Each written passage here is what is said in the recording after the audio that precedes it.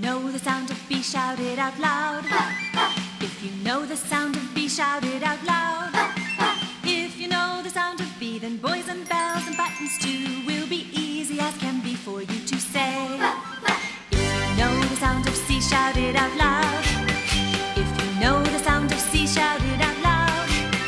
If you know the sound of C, then cats and coats and camels too will be easy as can be for you to say. If you know the